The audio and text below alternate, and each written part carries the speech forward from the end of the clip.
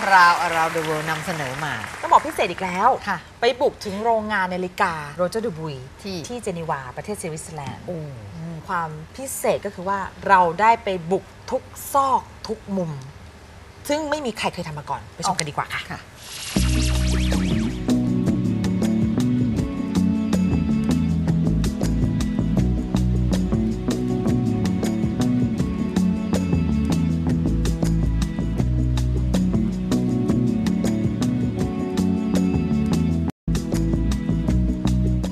Proud Around the World ต้องบอกว่าพิเศษมาก ๆ เพราะว่าเราได้มาเยี่ยมชมนะคะโรงงานของนาฬิกาต้องบอกว่าเป็นสากลนะคะย่ห้อโรเจอร์ดูบุยค่ะ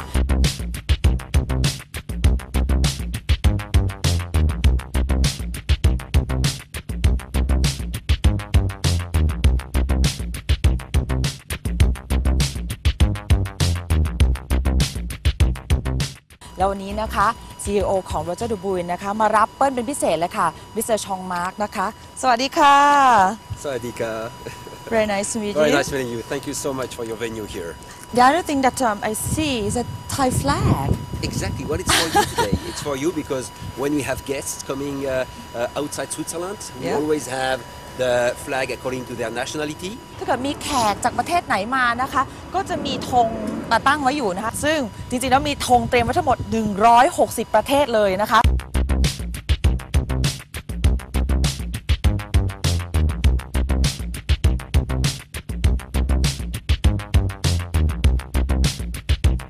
ถ้าไม่ใส่ในรายการของโรเจอร์ดูบุยห้ามเข้าเด็ดขาดนะคะ เรือนี้นะคะเป็นโรสโกนะคะ ทั้งเรือนเลยแล้วก็ประดับด้วยเพชรรอบๆนะคะต้องบอกว่าสวยมากๆนะคะ ราคาก็อยู่ที่บวกลบ 2 ล้านบาทนะคะ so now um, I can enter the factory You can enter because you have this uh, sesame to be able to enter the manufacturing. ค่ะ ตอนนี้นะคะเปิ้ลได้มาพบกับอีกท่านหนึ่งที่ต้องบอกว่าพิเศษมาก ๆ นะคะเพราะเป็นผู้ก่อตั้ง Roger Dubuis ค่ะ Mister Roger Dubuis นะคะ สวัสดีค่ะ Bonjour, Bonjour je suis flatté et très heureux de vous, re- de vous recevoir à la manufacture. Et c'est avec plaisir que, que je- j'apprécie votre présence euh, ici. ความพิเศษของวันนี้นะคะ ตัวจริงเสียงจริงของผู้ก่อตั้งจะพาเปิ้ลไปทัวร์นะคะ ทั้งหมดเลยทุกส่วนของโรเจอร์ดูบุยวันในวันนี้นะคะ ตื่นเต้นมาก ๆ เพราะว่า มาเองเลยนะคะวันนี้ ว้าว อันนี้เป็นคอลเลกชันต้น ๆ เลยนะคะอืมที่คุณโรเจอร์ automatic ทำไว้นะคะ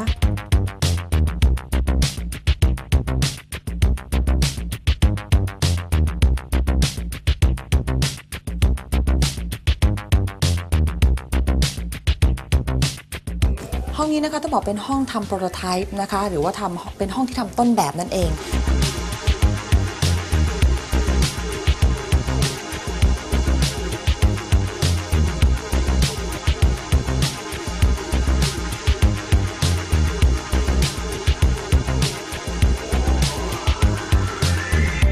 รุ่นนี้เป็นรุ่น Excalibur นะคะ ซึ่งเขาบอกว่า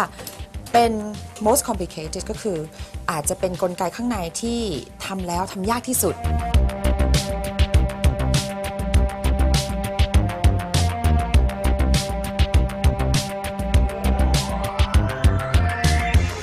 ดับเบิลทบิยองเนี่ยก็จะเป็นอันนี้แบบทั่วไป ซึ่งแบรนด์อื่นก็จะมีได้เหมือนกันนะคะ แต่ของรูจ r บุยเนี่ยเขาจะเป็นดับเบิลทบิยองแบบที่มองทะลุผ่านได้สังเกตได้เลยนะคะนี่ค่ะ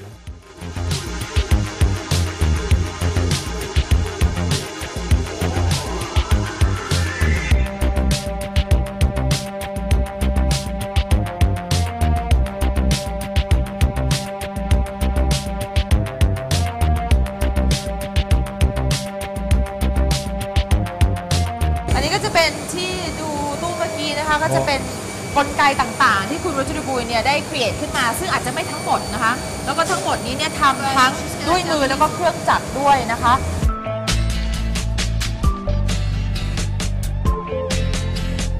ต้องบอกว่านาฬิกาของโรเจอร์ดูบุยทุกเรือนนะคะ ต้องได้รับการยอมรับ หรือว่าได้รับ Certificate ที่เรียกว่า Geneva Hallmark นะคะ ซึ่ง Geneva Hallmark เนี่ยเขามี Standard ทั้งหมด 12 ขั้นตอนนะคะ ซึ่งอันนี้เนี่ยจะมีที่เดียวที่นี่ที่สามารถ Certificate หรือว่าการันตีให้ได้ว่าเป็น Geneva Hallmark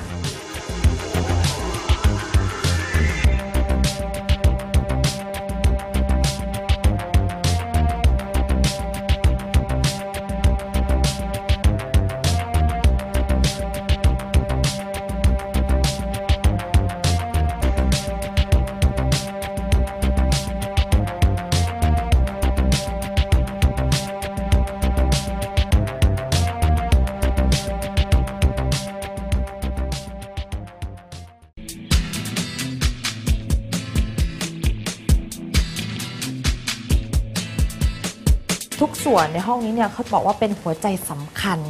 ของการเดินของนาฬิกานะคะหรือเขาเรียกว่า the balance นั่นเอง ห้องนี้นะคะจริงๆแล้วเนี่ยหัวใจมันคือตรงไหนรู้ไหมคะ ห้องลับข้างหลังนี้เลยค่ะ เพราะห้องลับข้างหลังนี้นะคะ คือห้องที่ทำส่วนนี้ค่ะ hair spring นะคะ ซึ่งห้องนี้เนี่ยทำชิ้นส่วนนี้ซึ่งต้องบอกว่า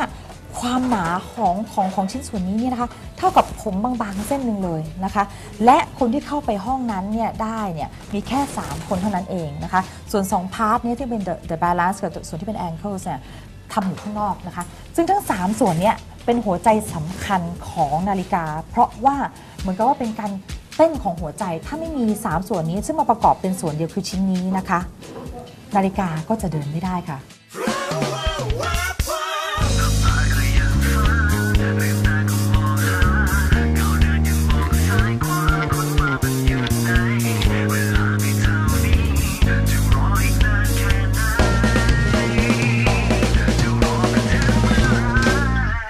say I had a great fun today at the Roger Dubuis headquarter. Thank you very much for today. ก็จงพราวเอาว่าพราวสกาวมันดังดวงดาว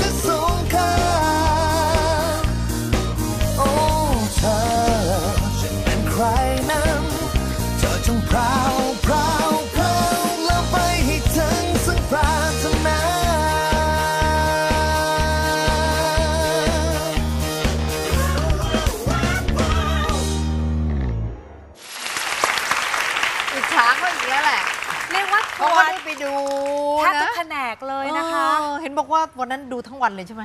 โอ้โห 10 โมงจนถึง 6 โมงเย็นเพราะว่าน่าสนใจมาก น่าสนใจสนุก ซึ่งนาฬิกา